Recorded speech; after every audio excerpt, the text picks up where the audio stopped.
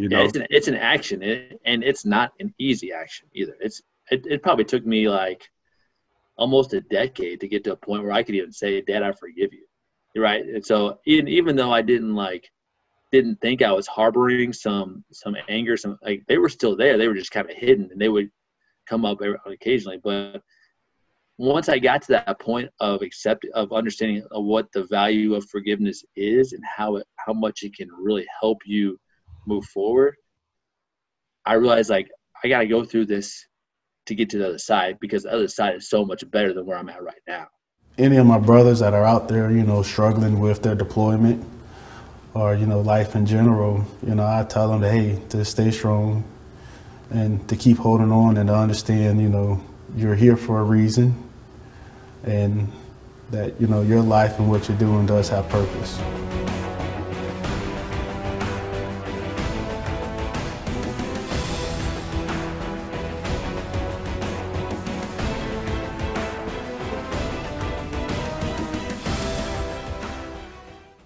Hey everyone, this is Greg Washington, and welcome to our next episode of Guards Down. I have with me today Jason. Jason, how's it going? Hey, doing well, Greg. Thanks for having me on, man. good, good deal, good deal. Well, look, uh, before we get started, tell us about yourself. Yeah, so I am a uh, Amazon best best-selling author. Um, I'm a you know, storyteller, speaker. I've been a teacher and a basketball coach for 11, 12 years, um, and you know I just really want to help people um, understand the importance of like taking care of their lives, taking care of themselves, um, self care. Because you know, um, I lost my I lost my dad to to suicide whenever I was 17. So I'm on a mission um, to you know help people understand their mind, how it works, and how we can you know give life a better chance to uh, give life a chance to get better. Is is kind of the thing that I I uh, you know try to tell people. So yeah. I got you. I got you. Okay. Well, one of the first questions I like to ask my guests when they come on um, is, you know, about your your your family upbringing.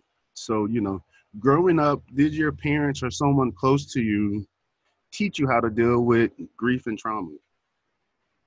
You know, um, it was more of a thing like, hey, you know, it's okay to not not like directly. I guess you just kind of saw what other people did, and then that's just kind of what you did as well.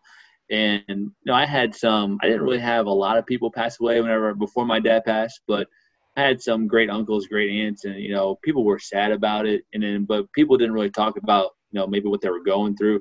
Because I grew up in a small town in the middle of Missouri, and so it wasn't like there were a ton of resources for people to access.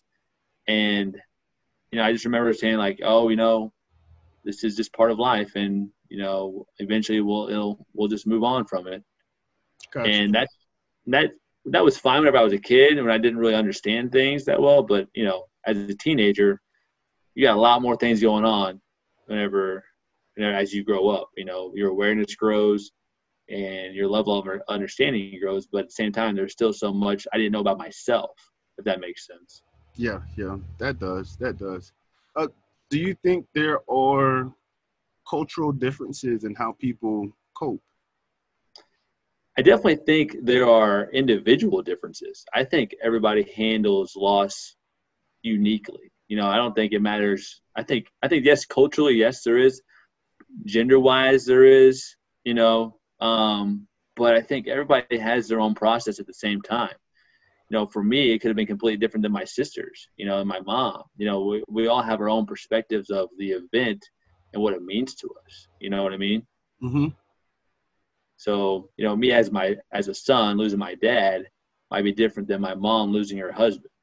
It's just, and so as a son, I felt like, you know, his the, the only the only boy, you know, the the chance to move the name down the line kind of stuff. I felt this enormous pressure to be the man of the house, like to, um, you know, after after he passed, I felt pressure maybe to help take care of my sisters more. Like I, I felt like there's maybe something I could have done as as as a son to maybe make him more proud, or you know, I felt a little bit of guilt that maybe somehow I was a part of it, and that's kind of things that you go through whenever somebody you lose somebody to suicide is, you know, what could I have done to maybe help him? And that's a very hard question because there's no real there's no real obvious answer to that. Yeah, yeah. Um, no, I, I definitely agree with you. You know, culture, gender, uh, but it, it kind of boils down to like an individual basis, you know, and, and basically like what coping skills you learn at that early age and then how you how you internally teach yourself to be mentally aware and physically aware of you know what your body and what your mind is going through. Uh, so I, I definitely agree with you. Um, what tools and techniques did you use uh, you know for you to cope healthy and unhealthy? Uh man you know at 17 you think you have everything figured out right? But then you know something flips your life around and you realize you have nothing figured out. Um, and so for a long time i just thought that thinking positive and, and you know feeling like and acting like everything is okay on the outside would would work mm-hmm. and what i realized was the longer i did that and the more i suppressed what i was really feeling inside like the hurt the sadness you know the um, feelings of abandonment the more i ignored those you know, the more they expressed them what in, in uh, more like unconscious ways. And what I mean by that is when I got in my early 20s, I would have um, I would have dreams that felt so real, like uh, that. Whenever I woke up, I had to like figure out where I was for about 15, 20 seconds. And there were dreams of me being angry that my dad was still alive, and it felt like maybe he had left us, or he was a, a yo-yo dad that came on whenever whenever he needed something, or that you know he left with a with another person another woman or something like that. All those you know things that you may see in society that was what's going on in my head as i was dreaming. So uh-huh. i felt that as i slept and it was it was wild man. And i realized at that point i was like i need to i need to handle this because this is not going away kind of thing. Yeah. I got you.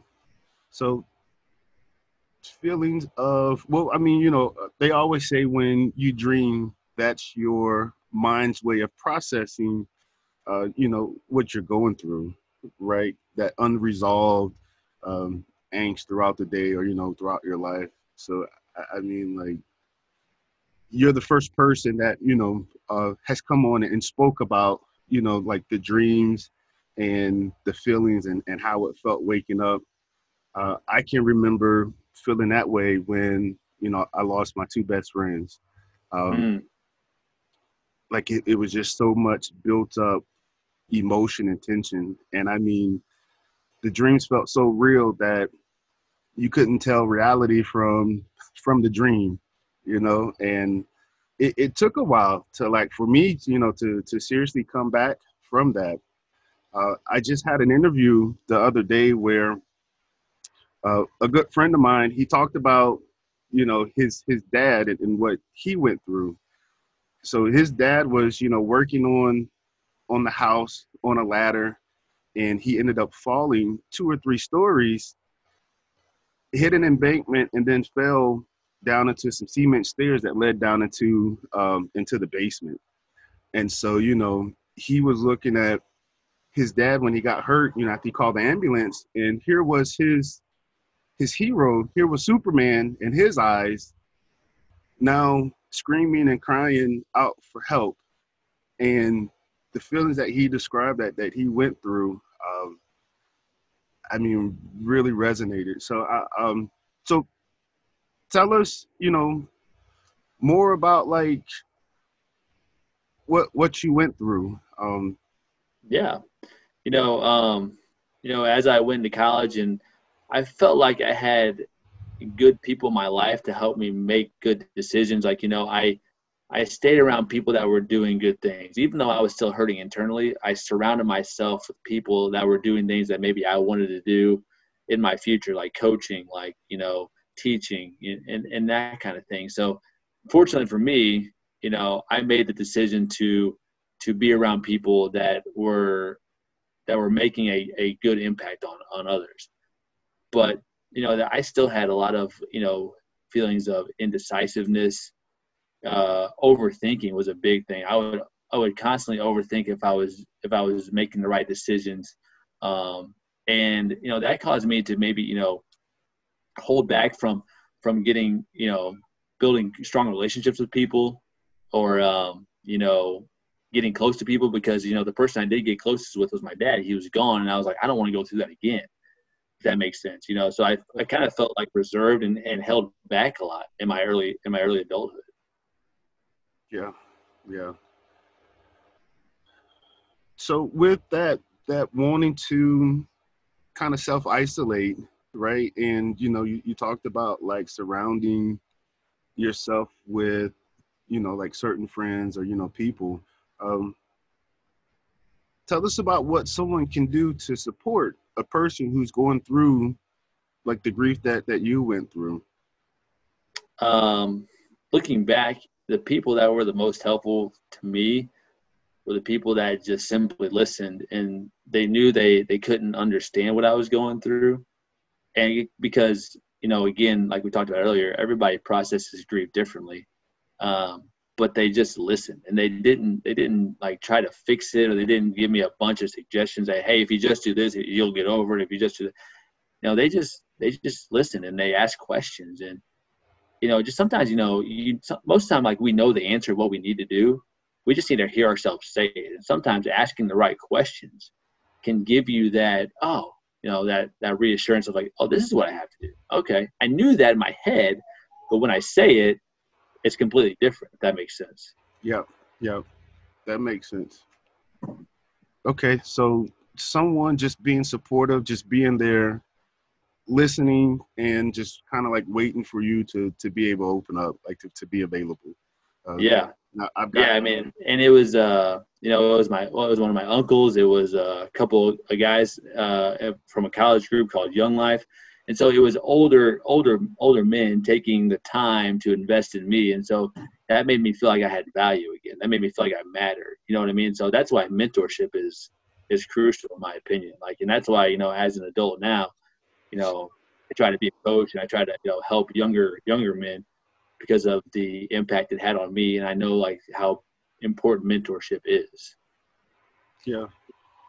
What was the collateral damage you think of losing your father. Um, and, and the reason I ask that is because uh, I I saw some research in the past where, you know, it talks like if you come from a family of suicide where, you know, someone close to you, then you're more susceptible to, you know, to, to committing suicide. Uh, mm-hmm. Uh, so, you know, kind of talk about the collateral damage of your your your father's um, passing and, and how it affected you know you and and your family. Yeah um you know for a while it was um you know people would um ask me like constantly ask, hey are you doing okay? Are you doing like like yeah i'm doing okay. And he almost got labeled in a way like oh like or like you know we need to keep an eye on Jason because his dad spot. So you know things tend to happen, and so I, I've never I've never struggled with that myself because I've learned how my mind works and I've learned how to take care of myself. And like it's important to you know understand why you're thinking what you're thinking and be able to flip that. And but at the same time it was oh this happened to jason's dad so this he could be and it was ne- it's never been like that for me you know and so and we get caught up in statistics and i know it's important to be aware of those things but i feel like my dad's situation was an isolated incident because it was a from a like a workplace stress situation it was you know he had a he had a uh, way of doing things that if he didn't see it in his mind if it wasn't working out the way like he kept at it till it got that way. He had a strong work ethic but you know, unfortunately, that strong work. It was in the digital age too, where like a lot of things were changing back in 2003. Yeah. Uh, and it was, was, you know, technology is frustrating now, much less, you know, way back then. So, yeah. Yeah. So I mean, for me, you know, it was it was feeling like I got I got labeled or put on a watch list because of what happened with him, and it made me like almost want to you know get away even more in in in isolate and not not necessarily isolate, but you know, move out of where I lived, and that's why I went to college in Springfield was to just kind of start over, and where not really many people knew me. If that makes you know what I mean, just kind of mm-hmm. figure out a way to, you know, how how can I move forward after being left behind and and you know start again in a way. Yeah. How was your mom uh, with all of this? Because um, I, I, mean, I, I know for her, she just lost her life partner, you know, and and her significant other, and moving forward with relationships, um, helping you to be able to to move forward. Because I mean, I know, I know for you, just like with me, you know, when when I left home, um, I've always had a, a little bit of of guilt, right? That I should go back and help make sure my mom is safe and you know provide for the mm-hmm. family.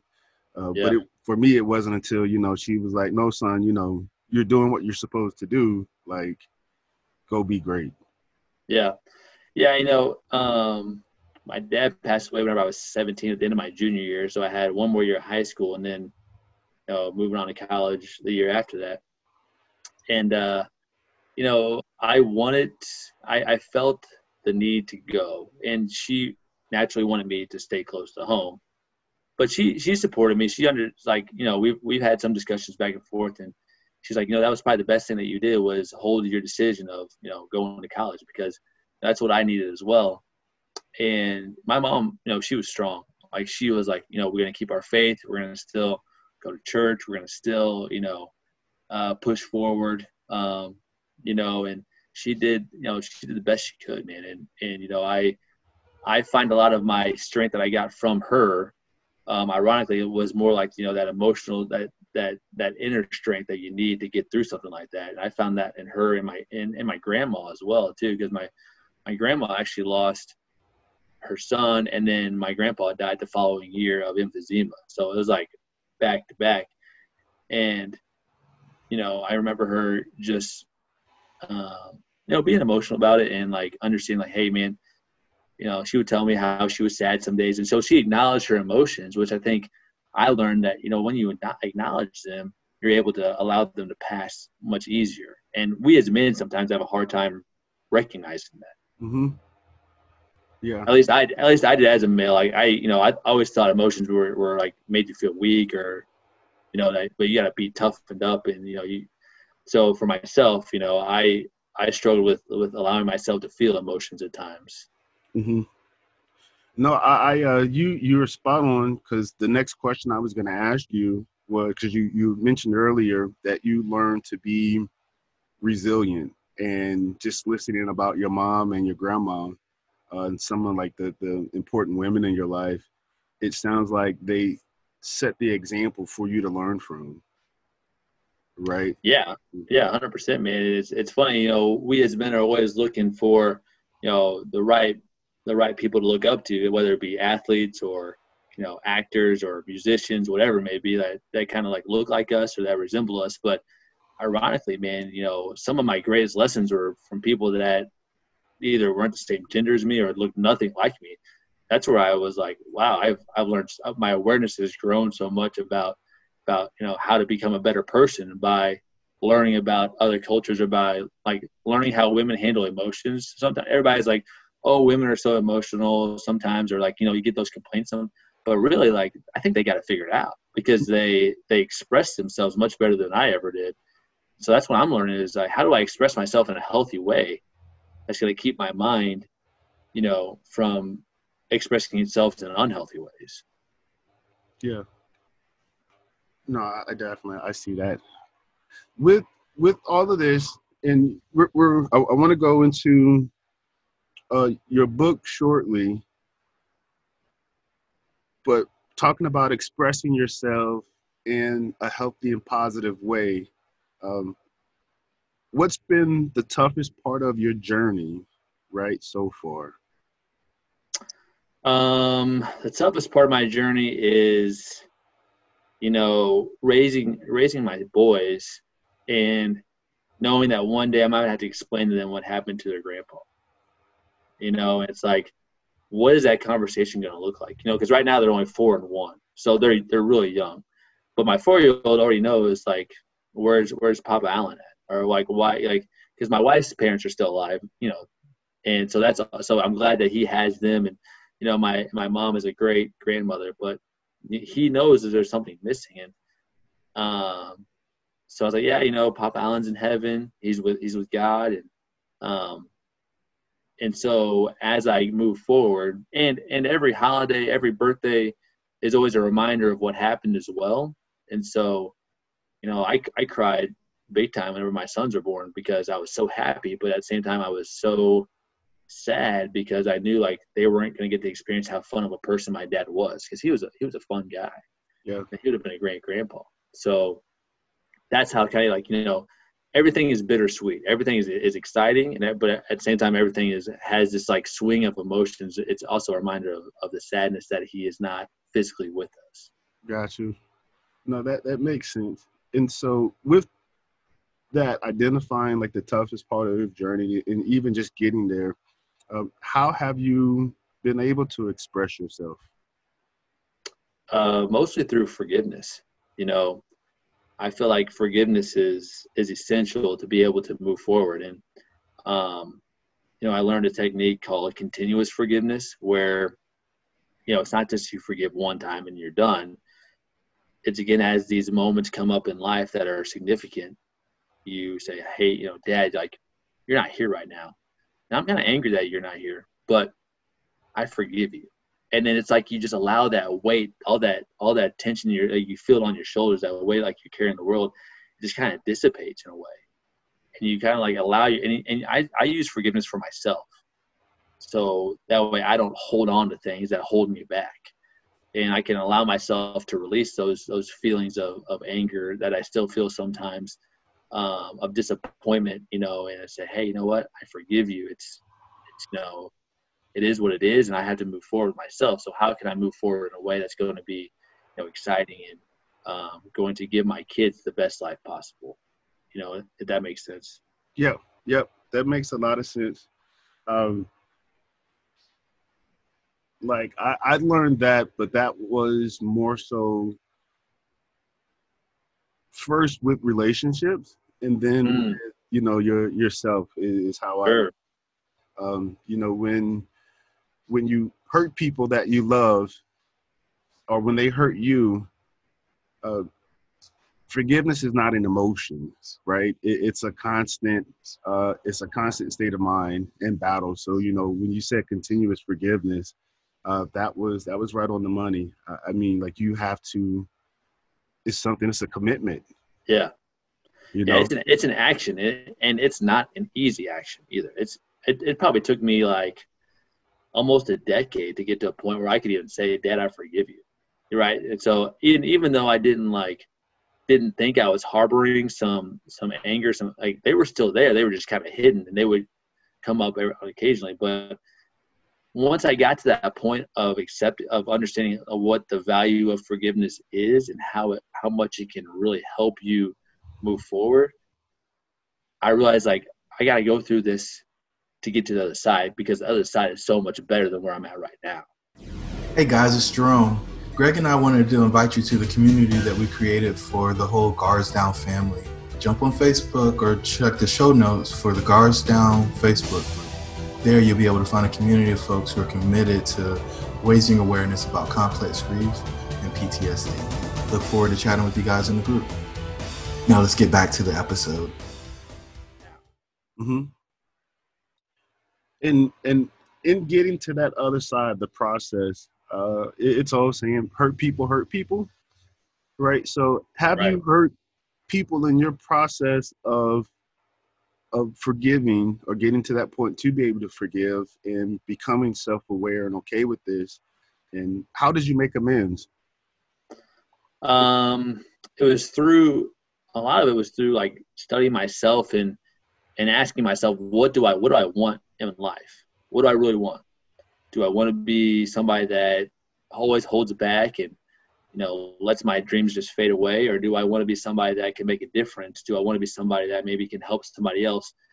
And that's why i wrote my book was if it helped one person then you know it was worth it. So it turned into me more of being uh, more of a philanthropic um, mindset of how can I flip this into a positive? How can I, you know, turn this this devastating situation into something that could be so impactful years after I'm gone? And so that's kind of what my mission was to help people understand that hey, you just got to give life a chance to get better. Again, like I said earlier, and and times are going to be tough, and there's going to be some things that are going to happen that are out of your control. But if you learn, if we understand and study who we are, as and how we're built, and how we're God's highest form of creation, and how we can do anything that we really put our minds to, you know, that made it a lot easier for me to to to work on forgiveness because I knew I had a lot of potential inside of me that I could really help other people. Got you. Got you. So with that or leading up to being that self-aware, uh, was there ever a point that you wanted to give up or or you know have like these very destructive behaviors that you you needed to identify with and correct i mean um, there were there were a few times you know i would get frustrated you know maybe i uh, didn't get the the job opportunity that I wanted or um, the coaching job that I wanted. And, you know, I, um, you know, I can honestly say I never like went down a road of, you know, uh, substance abuse or alcoholism or anything. I never, I was, because again, I still surrounded myself with, with people that, that I knew I could help me if I needed it or if I needed to talk to somebody. I think, you know, your associations and who you hang around are, are so are so key you know yeah. um, and you know whenever i felt those feelings of anger or whenever i felt like giving up i uh, i saw my you know my, pictures of my mom would come to my head pictures of my sisters would come to my head and i'm like you know what we've been through so much already like me giving up would only you know complicate things more so i was like i can't give up i, I, I gotta keep going because I don't want to go through something like this again with me being more of a burden as opposed to being um, a light or being something exciting, you know, uh, something to be proud of. Mm-hmm. And, Did you have to seek professional help? You know, my mom suggested it, but as a uh, as a young adult, as a as a you know as a teenager, I was I had, a, I had an ego thinking I could handle it myself, and uh, professional help, I never, I never really have, but I have dove into personal growth. I've dove into like, you know, I, I really love the Reverend Michael Beckwith. And like, uh, are you familiar with Michael Beckwith? Uh huh.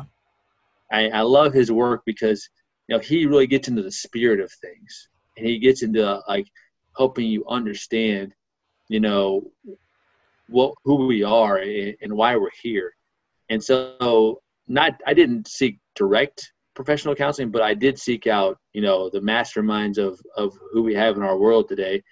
And I, and I, I started some of the practices that they, that they do. And because I saw the results that they were getting, I was like, how do I get results like that? And it's, you just, you find out what they do and you kind of, you know, personalize it, but you do similar things to what they do. You know what I mean? Um, and he was one of the guys that I was like, wow, you know, he's somebody great that I can learn from. Yeah you you almost make it sound like when you go through trauma and grief you start down a, a, a different road of personal growth and awareness mm-hmm. and, yeah it's called it's actually there's a term for it it's called post-traumatic growth and you take the hardships that you went through and and you you just lace up your bootstraps for lack of a better term and you face it and I was running from my from my hearts for a long time. But whenever I flipped and I turned around and I faced them, then they they almost like split like you know like Moses in the Red Sea. They almost kind of started to dissipate because I was like I'm acknowledging them for what they are, and I'm I'm not going to allow them to control what I do in the future. You know, yeah. so it's it's hard to face it. It's it, it's not easy, but when you can get to a point, you're like enough is enough, and I'm going to have a great life um, but I know you have to face it, otherwise, it's just going to hang on. Yeah. No, I like that. I, I, this is my first time hearing post-traumatic growth, uh, so I'm gonna definitely look up that. Uh, got you got me. I got some homework to do.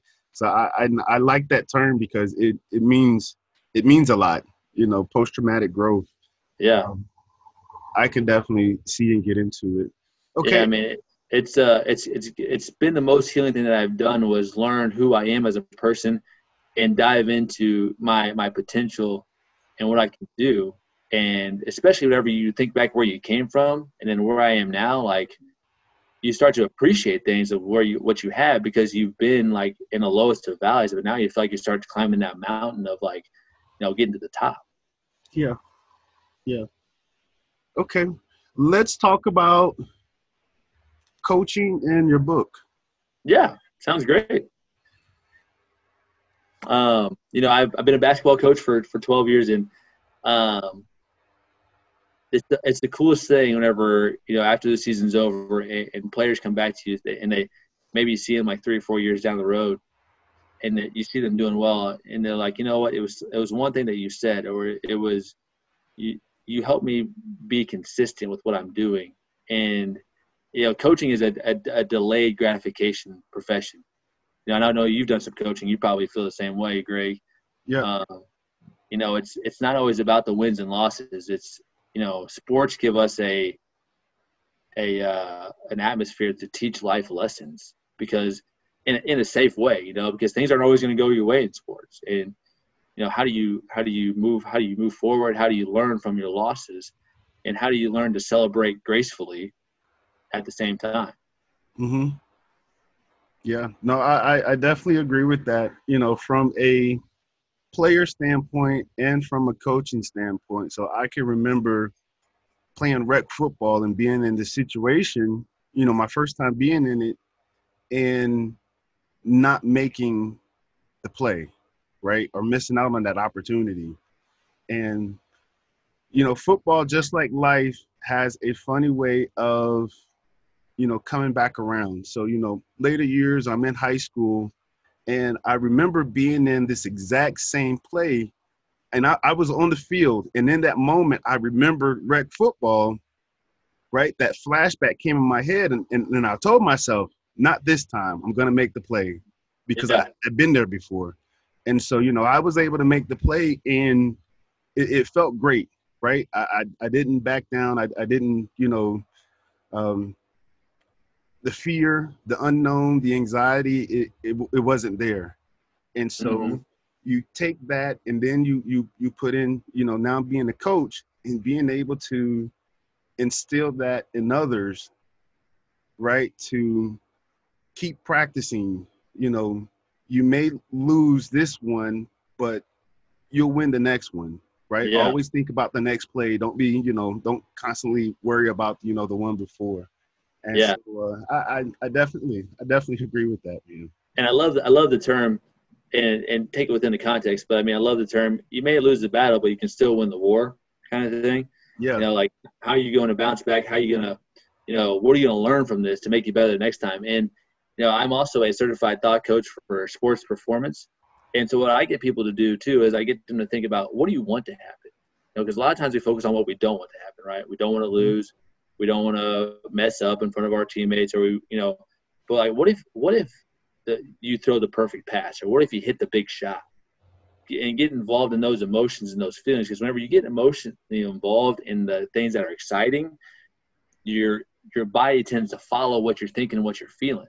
And so that's why a lot of times athletes get stuck is because you know or they get slumps in baseball or shooting because they they think about what happened last time like, oh, I hope I don't miss this. And what you're what people don't realize is that your mind doesn't understand do not. So what what they're saying, what what basically your mind is hearing is miss this shot, as opposed to make the shot. If that make you know what I'm saying? Yeah. So, you know, coaching people on their mindset will dramatically improve, you know, athletic performance. So it's it's getting people to think of what they do want to happen as opposed to you know, focusing on what they don't want to happen. Mm-hmm. No, I, I agree. I agree. That's awesome, man. That's uh, does any player that you coach stick out? Um, right now, um, it's funny. The, the main one that sticks out to me is my my godchild. She's 15. She's a volleyball player, and so you know, as I'm as I'm getting into this, you know, I realized that, you know, about 15 to 16 year olds is, is a perfect place to start molding kids because they're in high school and this is when they can really thrive in sports because they, most of them have gotten past the awkward years of, of middle school. And most of them kind of have an idea of if they want to keep playing sports or not. And so my, my godchild, she's a, she's a volleyball player and she wants to play at, at the University of Alabama, which is a, which is a great place for volleyball and so I told her, like, okay, you know, that sounds great, but what's your plan to get there? And she's like, well, um, I don't know. like, well, if you don't have a plan, it's never going to happen. So I, I had her visualize, like, I had her get a, like a prop and I said, print out the University of Alabama volleyball and put your name underneath it and focus on that every day. Mm-hmm. Because what you focus is on what you gravitate to. Um, and I had her like write down action steps on things that she could do you know, today that's going to help her down the line. Um, and uh, it's you know she she texted me back and I gave her a couple like visualizations in her mind and some imagination stuff and she's like Jason I had the best practice ever. Like I was I was hitting everything. I was making great passes. I was attacking. And she's like thank you. I was like yeah it took 20 minutes. You know what I mean? But it was a in that 20 minutes she had a complete mind flip and you know who knows what will happen maybe it's Alabama, maybe it's somewhere else, but at least she's like thinking ahead as opposed to focusing on what has happened in the past. Mm-hmm. Gotcha. What's been your toughest coaching moment? Right, um, to overcome it. Toughest coaching moment, you know, is the hardest thing for basketball coaches is is cutting kids because I hate like because it feels like you're giving up on them. You know what I mean? But the reality of it is in basketball, you know, there's really only eight guys play or eight girls play. Everybody else, you know, you're practicing or whatever, and and so you you hate to. I I always hated cutting kids. Um, that was the hardest thing for me was telling, hey, I'm sorry, you, I'm sorry you didn't make it. Um, but I hoped, but I always told them like you can you can use this uh, situation in two ways. It can motivate you to get better and try again next year, or it can give you direction on maybe you're supposed to be doing something else with your life. Maybe there's something better for you, and maybe basketball wasn't what you're supposed to be doing. So, you know, and uh, kids typically responded pretty well to that. I, I still just didn't like it, you know. Yeah. Um, I got you. Yeah, it's part of it's part of the part of the gig though. It is. It is. When when you have you know you, you only have a, a I'm quite sure what your roster was probably like 17 or 19? Yeah, roughly. And then, you know, um, again, about eight or nine played. And then everybody else was like, hey, you know, thanks for helping out at practice kind of thing. Right. You know, and every once in a while there would be one kid that would rise up that would that would do really well, but you know, 98% of them, you know, they feel bad for themselves or they, you know, they don't they don't progress in a way because they don't have the right ambition to really go after what they really want. Mhm. Yeah. So, with the coaching, uh, with you know the the post traumatic growth, what what inspired you to write your book? Um, I was inspired to write the book so I could help people not not go through what I went through. Um, because you know it was it was the hardest thing that I have ever done. I have ever had to go through. And even even now with um, you know the the COVID stuff going on, it was it was easy for me to adjust. Ironically, because I was like, I've already had my life flipped upside down once, you know, and all my family's healthy right now. So I mean, really, like this is just me getting spend more time with them. So my goal for writing the book was to, again, if it prevented one person from taking their life, and it saved, you know, the other people um, around me from having to, to go through the heartache, the, the, the trauma that I went through, then you know, it was worth it. So um, that was the reason why I um, went through the things that I went through was because and wrote my book was simply because I just wanted to help one person. And hopefully, it helps a lot more than that. But for every one person that that passes away from suicide, it affects an average of 25 people. Mm-hmm. And so I was like, well, if I can prevent 25 people from going through that, then, you know, it's worth it. So correct. I got you. Okay. Uh, so with your book, kind of uh, walk us through what what one would expect reading it. Um, the beginning is you're gonna need a Kleenex box, to be honest. Um, it's uh, I, I went I went deep, man. I went through everything that I felt, you know, from everything I experienced, all the way from the morning of when it happened, and through year one. You know, it's uh, my battles of of the day, of what the what the funeral was like, what you know my my family was going through, and you know everything that I was feeling as I, I mean as I typed this, I almost like I relived relived it again because I wanted people to walk in my shoes of what I was going through as a 17 year old. Mm-hmm. Um, and then, but the but the back part of it is is a is a, like a kind of a, a self help personal growth thing, and I go into like 15 things that I that I've implemented in my life that have helped me, you know, uh, leap forward into growth and and to get to a place now where you know i'm i wake up every morning excited about life and excited about what's coming you know um, and so that was uh the second part is a lot more um again of, of what you can do regardless of your situation um, to pick yourself up and and to live a life of you know purpose a life of passion a life of excitement.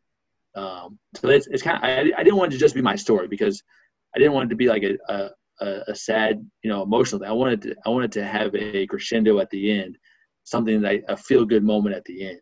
Yeah, I got you. No, that sounds that sounds amazing. Um, just to to go through it and for you to just even be able to to write it. Um, I tried writing out the story of my my two friends that were were killed in Afghanistan and Iraq. Mm. And for me, you know, the reason why I wanted to write it was because you know I have all of these great memories that I wanted to share with everyone, and mm.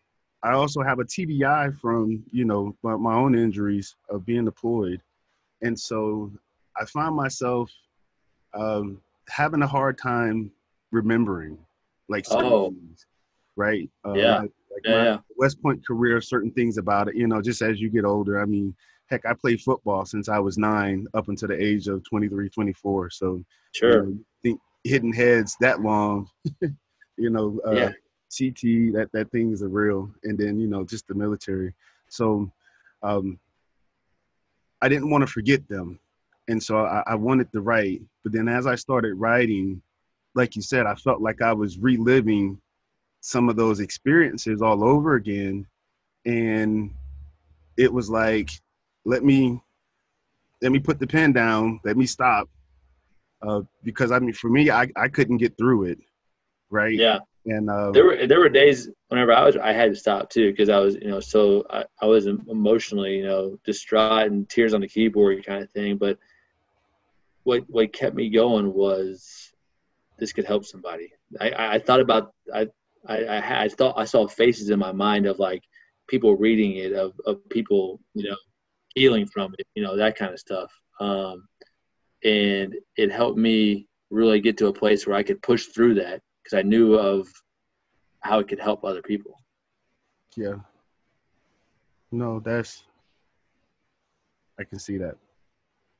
You know, keep but it, it, it actually ended up being for me one of the most healing things I ever did because I got out all of those you know emotions that were dug down deep with things I didn't you know realize that were there, and it, and you know typing out on words somehow I was able to express it in a way that you know was was was very therapeutic in itself. Uh huh. And you know since I've finished my book and written it out, I mean I feel like I'm I'm a lot of freedom from that. Like I I just let things go. Yeah. You know I was able to express them through writing. Yeah, I got you. No, that's awesome. I'm still working through mine. I haven't given up, and I mean, you just kind of lit another fire under me. You know, yeah, accountability. Because, because if you if you think about all the military people that you could help with your book, man, like think about that. I mean, so many people probably have similar situations that you've done, and I mean, I would encourage you to to finish it and and because and, and keep in mind the people that that would that you would help in the process. Yeah. No, man, this interview has been very enlightening. Like I've learned post-traumatic growth uh, and that that self-awareness and you know starting that journey after you go through such a horrific experience and learning about how to cope and deal through examples from others that may not even look like you. So I mean, like I really appreciate you know the insight um, and growth that that you shared. Uh, looking back, yeah. do you see the growth in yourself from 17 to now? Oh man, like you know, it's almost like I'm almost, I'll be 35 in July, um, and so it's I've almost lived without my dad as long as I lived with him. Um, and who I am today, like I wouldn't, I would not choose to go. Like, you know, a lot of people say like, oh man, if I could only be 21, 22, 20, if I could only go back to those ages again, uh, I'm like, I don't want to go back. Like I am way better now. I have a much better life now. I mean, yeah, you have your adult responsibilities and that kind of stuff, whatever. But I'm excited about the future, man. I'm excited about what's coming. You know, because you can't change anything about the past. It is what it is. Yeah. So, but you can change your future every day we have a choice. You know what I mean? And I'm excited to what's ahead. And you know, and, and going back to learning from other cultures, man, like I think the biggest thing we can do is is see other people's perspective and maybe see, you know, why people are hurting and maybe see why people are going through the things they're going through and just listen to them and like and hear them out. Doesn't mean we always have to agree, but it means we can't be cordial, we can be kind to each other, and what can we do to live a more unified as a more unified uh, group of people? Because i mean at the end of the day you know we're going to pass on from this life and all the you know the things that we're going through like they're they're going to be in the past. So like why not connect with people and understand them and help them and and grow as one where we can have a great great world? And because there's plenty of opportunity for everybody. Mm-hmm. you know everybody has a purpose. You weren't you were born on this earth for a purpose. God gave you a purpose. And he's going to have opportunity for everybody if if we choose to work together. Indeed, indeed. And so one of the the last questions that I ask um, is if you could give advice to your child or to the next generation, what would it be? And you kind of already started to talk about it, you know, when you you mentioned about your son earlier and you know telling him where you know his grandpa is. Um, mm-hmm. The question that came to mind, and there's no religious preference or choice or decision, right, with this. But you told your son that Papa is in heaven, right? Mm-hmm. When he mm-hmm. gets older and he starts to understand more about religion and how people, you know, say you're either going to go to heaven or hell, um, what kind of conversation are you going to have with him then? Um, I, I, well, know, oh, I, I, would say, have you thought about that? I've, I've, a little bit, and again, I think it goes back to um, you know, asking yourself, asking myself the right questions. Mm-hmm. You know, because we can ask ourselves questions like, "What's wrong with the world?" Or "What's, you know, why is this happening?" Or "Why why is this happening to me?" Or we can play the blame game, or we can ask ourselves empowers, empowering questions like, "Why am I God's highest form of creation? Why am I supposed to be helpful? Why am I? Why do things work out in my favor? You know, why does God love me and want the best for me?" And when we start understanding how our universe works, how how God wants us to live, and we start learning how that how that is, you know, then I think that for him, I was like, it's a simple question like, did you help somebody today? And if you can answer yes, then then great. Is what you're doing helping one or, two more people?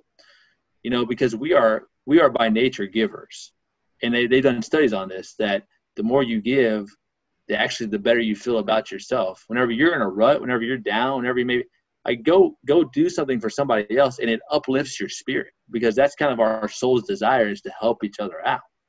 Um, that's another reason why I'm I'm big into post traumatic growth too is because you know, if I again, it goes back to helping others. Uh, at the end of the day, man, you know, and so I think that's what I would challenge him with is like, well, how are you helping somebody else besides yourself? Yeah. You know, are you are you living a path that that you like? And if not, maybe let's let's reevaluate. Let's be honest with ourselves. I think I think um, individual honesty. If you can be honest with yourself about where you're at, that's the first step in, you know, your your step to greatness is is acknowledging where you're at, but knowing that you don't have to stay there. I, I agree with that. Yeah, acknowledging where you're at, but you don't have to stay there. I, I, I completely agree. And if you do stay there, it's your choice. Like it is, you know, and and some people may like, oh, that's that's harsh. That's, I mean, it is, but, and I can say that from a point of like where I came from. Like I could have stayed in my hometown. I could have stayed in, and I could have stayed in a place of anger, resentment. I could, but I, I made the choice not to. Mm-hmm. You know, so we all we all have a choice on, and it's not always an easy choice to make. But again, it's asking myself, is this going to help somebody else? Yeah. Okay. Are there? Uh, well, I, I definitely want people to be able to um, reach out to you. So you know, if you would give, you know, what efforts you're pushing, um, you know, your company, where they can go find your book at, the title of Yeah. it. Um, and any resources that you know you, you think would be helpful for someone to get on their post-traumatic growth you know path uh share Yeah. Um, my book is called Shattered by Suicide, Renewed by Resilience uh, How to Move Forward After Being Left Behind. Um, I'm on Facebook, Twitter, Instagram. Uh, I, have a, I have a speaker Facebook page as well that I post videos on occasionally. Um, and so I don't have a website right now. I just, with, you know, pandemic going on and young kids, I, you know, my focus has been making sure my family is, you know, healthy and good to go. But, um, you know, it's on audiobook, on Audible, and ebook on Kindle. If you da- if you have the Kindle app on your phone, you can find it on there. And you know, as far as like what I'm what I'm learning, um, you know, are you familiar with Mind Valley? Have you heard of Mind Valley before? yeah So like, you know, I take that's what that's what I learned about Michael Beckwith and some of those other people. You know, that's where I started my that's where I started my post my, my post traumatic growth journey was a book called The Code of the Extraordinary Mind by Vishen Lakhiani. Um, and so he's the founder of Mind Valley, and they have tons of you know personal growth courses on there that anybody can find something that that's going to resonate with them that they can learn from. And then another guy is Bob Proctor, who is uh, you know he really teaches us about who we are and that we are spirit living a living in a human experience um, which is probably a conversation for another time but um, you know he is he's 86 and he has the energy of a 25 year old like it's amazing what he's done too. Wow. Got you. Okay. Yeah so those are all good. Um and for those out there listening uh, we'll have these posted you know with the transcripts when we send out the podcast so that you guys can uh, follow the links and you know and, and do your own research. Uh, definitely encourage that. Jason i really appreciate you coming on today. Any last words of wisdom final thoughts you would like to share? You know like i said earlier you know just give life a chance to get better and you know ask yourself empowering questions like why am i great you know why am i why am i helpful? Why am i meant to do good things? And you know use that for every section of life and just just make sure you ask yourself positive questions empowering questions because your mind will always search for the answers of questions. So again give yourself a chance for life to get better and ask yourself questions that are going to make you feel better about what's going on Indeed. There we go, ladies and gentlemen. Jason Holzer. well, look, I appreciate you coming on today. Uh, to everyone out there, we appreciate you. Thank you for tuning in. Uh, stay safe during all of the protesting and unfortunately the looting uh, and with the virus and stuff still going around. Uh, but most importantly, for your mental health, stay focused and stay engaged. We're out that's what that's what it's really all about. You know, giving yourself a fighting chance to to just show what you got.